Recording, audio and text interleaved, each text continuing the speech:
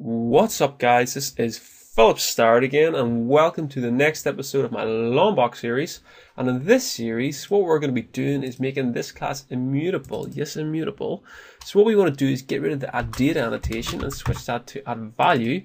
And what add value is going to do is basically make all of these fields private final by default there's going to be no setters created and it's going to create us a constructor automatically that's going to set these final fields because of course once you create an object you have to instantiate it with it with all the final fields as it's being created. So as you can see now these fields do not exist. Um, the only sorry methods the only ones you can see are getters. So you want to be able to delete all them and now you can see we have all of our, our nice constructor setting all of the fields for us so that's what you can use in person. You can also use the non-final annotation if you want to make sure a field is non-final.